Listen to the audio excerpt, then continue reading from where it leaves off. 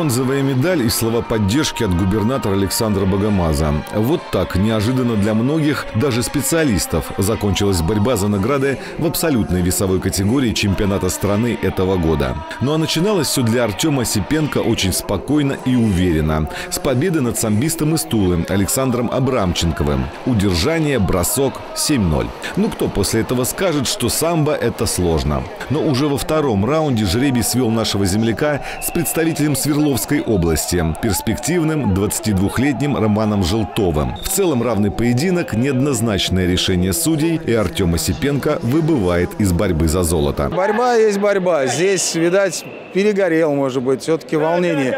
Десятикратно он уже есть надо быть одиннадцатикратным и так далее. Но очень сложно, тем более все зрители пришли на него. Иногда, знаете, стены помогают, а иногда немножко чуть-чуть мешают. Мне кажется, вот здесь вот, э, может быть, чуть-чуть они ему помешали. Но это надо у Артема спросить. Вот. Но, в принципе, он молодец.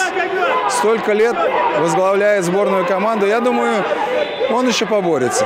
Забегая немного вперед, скажем, что Желтов в итоге финальную схватку проиграет, так и не став чемпионом России. А вот Артем Осипенко поставил себя в очень непростое положение. Теперь, чтобы даже бороться за бронзу, ему предстояло пройти сквозь сито утешительных схваток. Нужно отдать должное нашему чемпиону и его наставнику. Они смогли найти в себе силы, собраться, и Артем одержал победы во всех трех утешительных финалах. Поединок за бронзу Артем Осипенко выиграл и вовсе за явным преимуществом – 10-0. Это счет, после которого в самбо останавливают схватку. Бронзовую медаль в весовой категории свыше 98 килограммов завоевывает Артем Осипенко, Брянская область.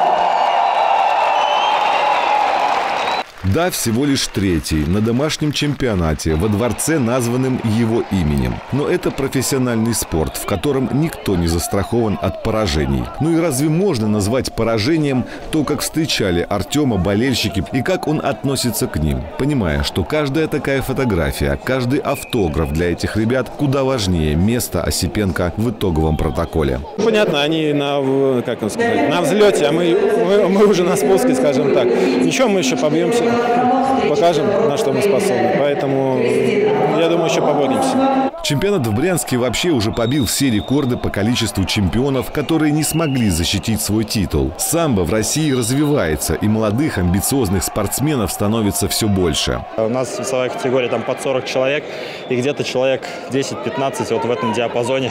Это все мастера спорта международного класса, заслуженные мастера спорта. Вот поэтому конкуренция колоссальна.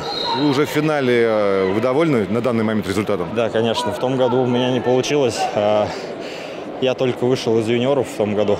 Вот, а как раз-таки вот год пошел на пользу. Блин, сделал все, что мог, поэтому будем настраиваться на финал. Как эмоционально реагируешь? Это такая тяжелая схватка или такая победа для тебя важна? Я первый раз выступаю на чемпионате России и ехали сюда больше для опыта. Первая встреча не задалась. Я проиграла финалистке 1-0. Но вот как-то дальше работали, работали с моей мамой по совместительству тренером. И я, ну, я правда очень рада. Он такой настырный, прет, прет. А я чуть старенький уже, я поопытнее.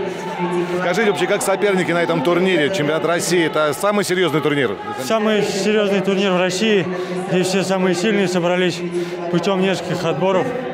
Поэтому здесь все самые сильные ребята с России. Эдуард немного лукавил. В финале своего соперника, пусть более молодого, он все-таки одолел, завоевав титул чемпиона России. Как и еще одна звезда российского самбо – чемпионка мира Ольга Артошина. Этим спортсменам, которые все и всем уже доказали, как никому ясно. Такие турниры в таких спортивных комплексах не повод потешить свое самолюбие очередным титулом, а возможность заразить еще несколько сотен мальчишек и девчонок таким видом спорта, как самбо. Это очень круто, что маленькие дети приходят, смотрят. Это будущее нашей страны. И оно куется именно в этих залах. Как вам в Брянске, как вам дворец единоборств? Очень хороший город, прекрасный